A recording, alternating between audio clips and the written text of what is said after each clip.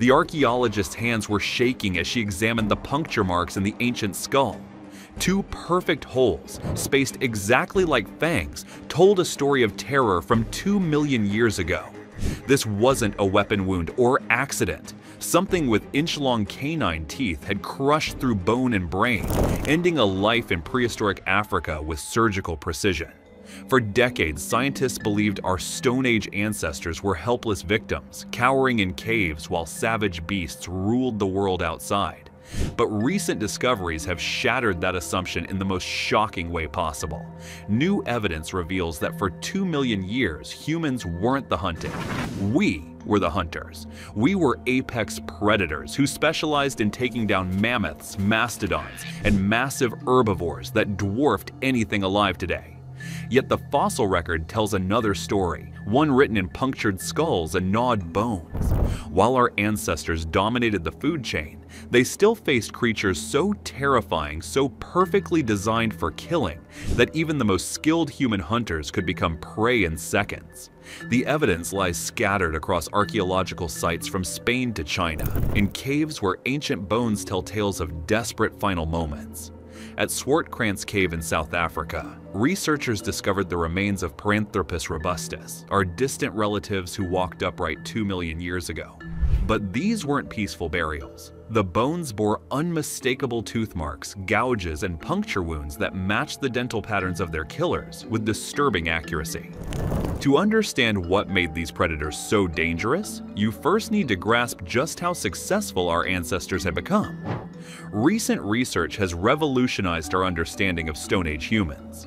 By analyzing the chemistry preserved in our own bodies, our metabolism, our fat storage, even the acidity of our stomachs, scientists discovered that our ancestors were hypercarnivores. For 2 million years, humans obtained over 70% of their calories from animal sources. Our stomach acid was more corrosive than any omnivore, powerful enough to dissolve the bacteria in week-old mammoth meat. Our fat cells were structured like those of apex predators.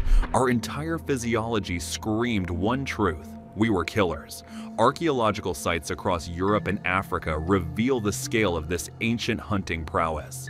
Mammoth graveyards with systematically butchered bones. Stone tools designed specifically for cracking open marrow.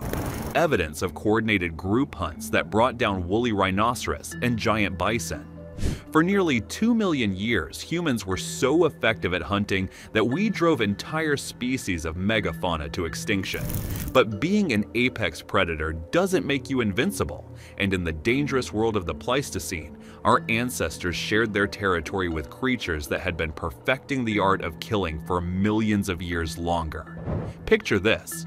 You're an early human hunting mammoth in Ice Age California.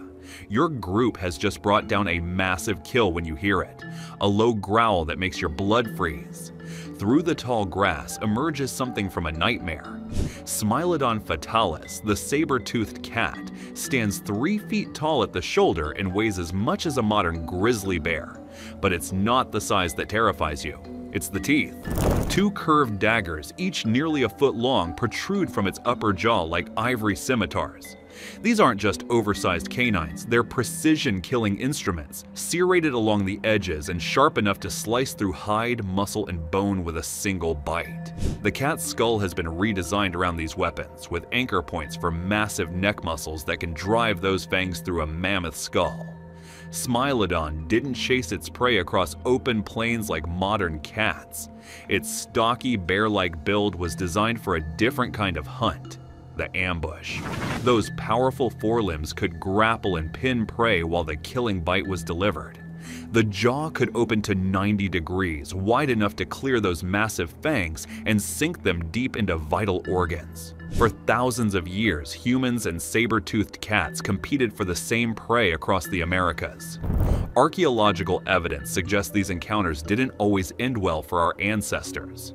While no direct evidence of Smilodon preying on humans has been found, we know from South African sites that other large cats left unmistakable calling cards on human remains.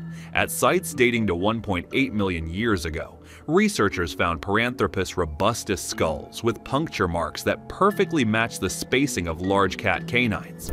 The evidence suggests these early relatives of ours were dragged up into trees and consumed, just as modern leopards do with their prey today. But if Smilodon was terrifying, the cave lion was an absolute monster. Panthera spelaea dwarfed every cat that walks the earth today.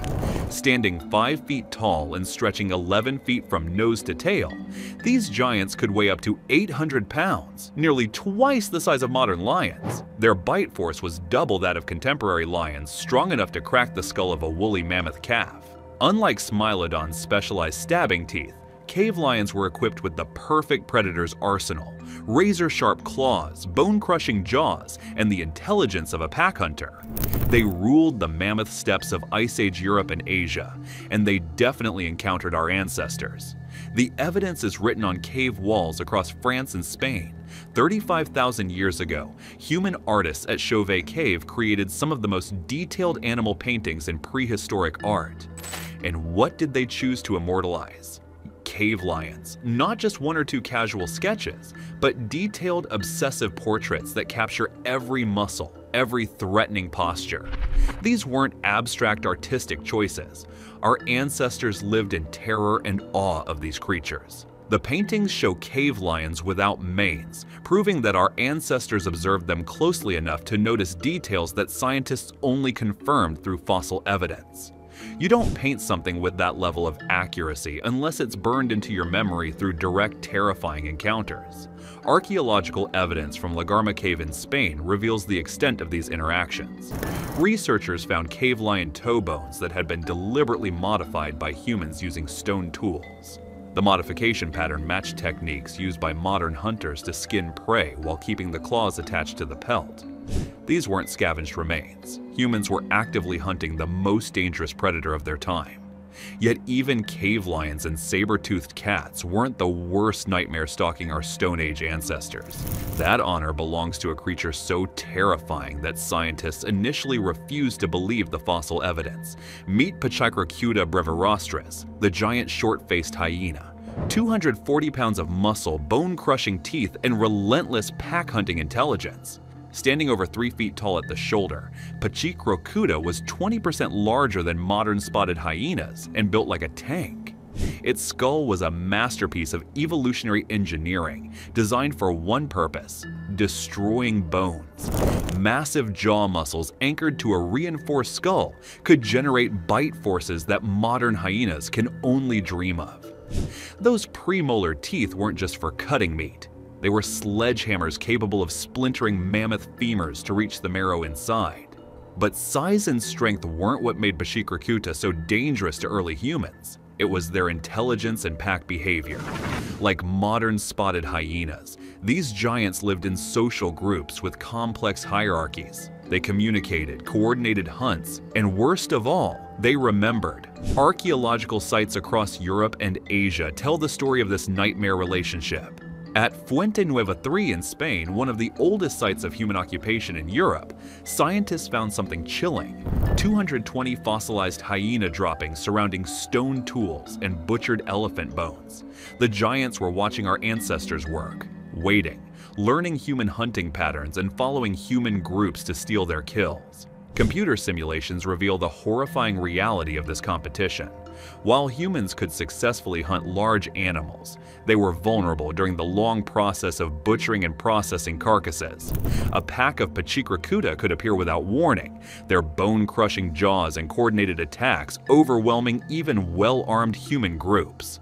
The fossil evidence confirms these encounters ended badly for our ancestors. At Zhoukoudian Cave in China, the famous site where Peking Man was discovered, anthropologists found something that changed our understanding of early human life forever. The Homo erectus skulls and long bones showed scoring and puncture patterns that archaeologists initially attributed to cannibalism. But detailed analysis revealed the truth. These marks came from Pachycrocuta teeth. Our ancestors weren't eating each other they were being eaten. While giant hyenas used brute force and pack tactics, leopards employed a different strategy surgical precision. Modern leopards are already considered one of the most dangerous predators to early humans, but their prehistoric relatives were even more lethal. These cats had perfected a hunting technique that turned human anatomy against itself. The evidence is preserved in the skull of a juvenile Paranthropus robustus found at Swartkrans Cave. Two small round holes pierce the bone near the base of the skull, spaced exactly like the tips of leopard canines. The placement is no accident. These punctures would have severed the spinal cord instantly, causing immediate paralysis and death. But the fossil tells an even more disturbing story. Microscopic analysis reveals that the victim was dragged upward after the killing bite, leaving characteristic scrape marks on the bones. Just like modern leopards, the prehistoric killer hauled its prey up into a tree to feed safely, dropping the leftover bones into the cave below where they fossilized for 2 million years. This wasn't a desperate scavenging event or opportunistic attack. The precision of the bite placement, the efficiency of the kill, and the subsequent feeding behavior all point to one conclusion. Early humans were regular prey items for these cats. We fit perfectly into their hunting repertoire, another primate to be stalked, killed, and consumed. The most chilling discovery came from the Taung child, perhaps the most famous early human fossil ever found. This three-year-old Australopithecus africanus died 2.3 million years ago in what is now South Africa. For decades, scientists debated the cause of death until they found the smoking gun puncture marks at the bottom of the eye sockets that perfectly matched the talons of prehistoric eagles. The child had been snatched by a massive bird of prey, its skull crushed by talons designed to kill primates. This wasn't some freak accident analysis of modern eagle prey remains shows identical damage patterns on contemporary monkeys and small primates. Our ancestors, despite their intelligence and tool use, were still small enough and vulnerable enough to end up as bird food. These discoveries paint a very different picture of Stone Age life than the one we're comfortable with. Yes, humans were apex predators who dominated the food chain for 2 million years, but we weren't invincible. We shared our world with creatures that had evolved over millions of years to kill, and sometimes we lost. Archaeological sites across three continents preserve the evidence of these ancient encounters. Punctured skulls in South Africa, gnawed bones in Spain, tooth-marked femurs in China. Each fossil tells the same story. Even the world's most successful predator could become prey. What made these encounters so terrifying wasn't just the physical danger. Modern humans can barely comprehend the psychological horror of living in a world where creatures like Pachycrocuta, Smilodon, and cave lions stalk the landscape. Imagine knowing that every hunting expedition, every gathering trip, every moment outside the safety of your group could be your last. Our ancestors developed strategies to cope with this constant threat. They perfected group hunting tactics that allowed them to defend against large predators. They created increasingly sophisticated weapons. They learned to read the landscape for signs of danger. But sometimes none of it was enough. The worst creature to run into during the Stone Age wasn't any single species. It was the realization that no matter how smart you were, no matter how many tools you carried, no matter how skilled your hunting grew, there were things out there perfectly designed to kill you. Things with teeth like daggers, jaws like steel traps, and the patience to wait for the perfect moment to strike. The fossil record preserves these moments of ancient terror. The leopard strike that ended a young life in seconds, the hyena pack that overwhelmed human hunters, the eagle talons that snatched a child from its family. Each discovery reminds us that our dominance of the natural world is relatively recent. For most of human history, we were both predator and prey, hunter and hunted. Those puncture marks in ancient skulls aren't just archaeological curiosities. They're reminders of a time when humans faced their mortality every single day, when survival meant outwitting creatures that had millions of years of evolutionary refinement.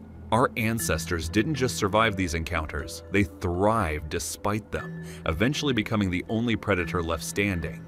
But for two million years in the caves and plains of the ancient world, even the most skilled human hunter knew that somewhere in the darkness, something was hunting them back.